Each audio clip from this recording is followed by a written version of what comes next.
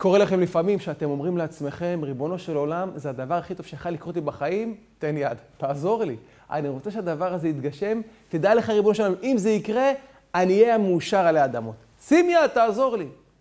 תדעו לכם, חברים, שגם אם לפעמים דברים לא מסתדרים לכם כמו שתכננתם, זה לא בהכרח דבר שהוא רע בשבילכם.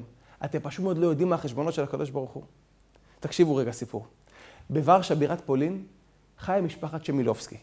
המשפחה הזאת הייתה ידועה, משפחה שיש לה חנות ענקית של כלי טקסטיל, צלחות, כוסות, סכו"ם, כל מה שקשור לאבזור של השולחן, היה להם, והיה להם בכמויות וברמות הגבוהות ביותר.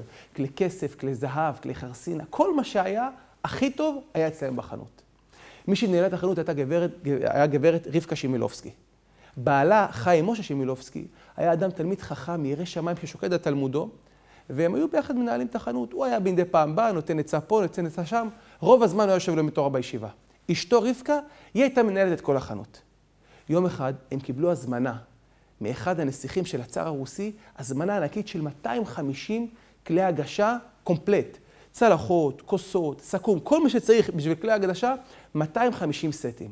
הם מקבלים כזאת הזמנה, והעיניים שלו אמרו, וואי, זו כמות ענקית, זו הזמנה גדולה. כדי לארגן את זה למשלוח, זה המון המון עבודה. הוא נתן תנאי בהזמנה, שההזמנה חייבת להיות מסופקת אליו עד ליום שלישי.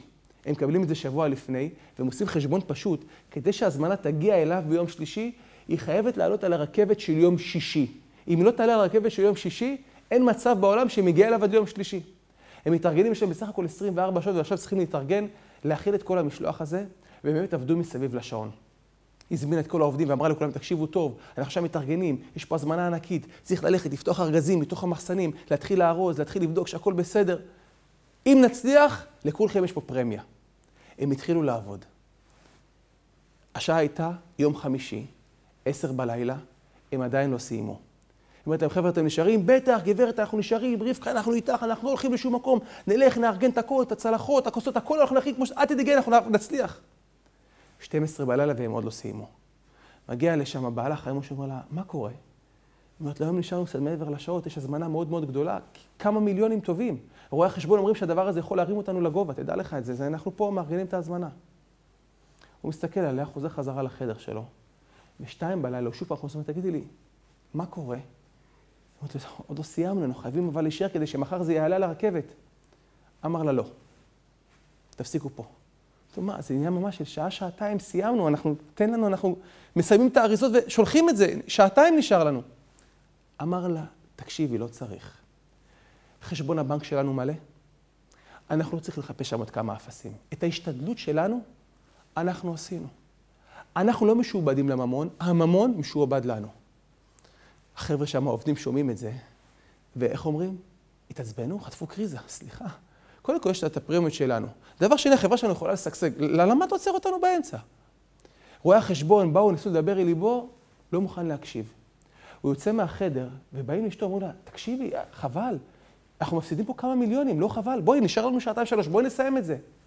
אמרתי, תקשיבו טוב, בעלי תלמיד חכם, ויותר ממה שהוא תלמיד חכם, הוא גם כנראה שמיים.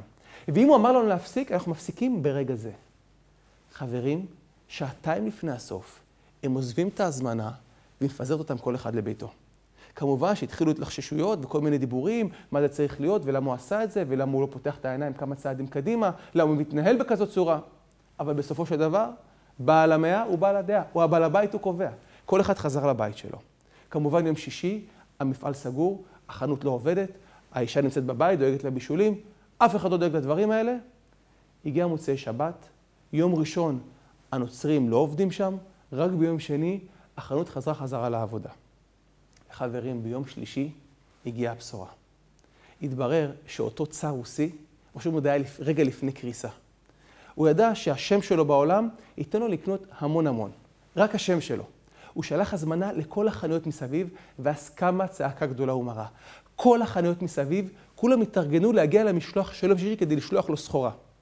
אבל אף אחד מהם לא קיבל על זה כסף. הבן אדם פשוט מאוד לקח את כל הסחורה ונעלם איתה ביחד. המשפחה היחידה שניצלה מאותה, מאותו עוקץ, זו הייתה משפחת שמילובסקי. הם היחידים שניצלו. ואתם יודעים למה? כי יש לנו את המקום שלנו, ויש את המקום של בורא עולם. רגע, לפעמים בעיניים שלך זה נראה לך זה הדבר המושלם ביותר, הטוב ביותר. תעצור לרגע, חבר. יש את הקדוש ברוך הוא. אתה לא מפה. הוא מנהל את העולם. תשחרר לו. עשית את החלק שלך, הוא יעשה את החלק שלו. אז בפעם הבאה שקורה לנו משהו שלא מסתדר לנו בדיוק לפי התוכניות, אל תצטערו. יש בורא עולם, הוא דואג לכם לדברים הרבה הרבה יותר טובים. בהצלחה.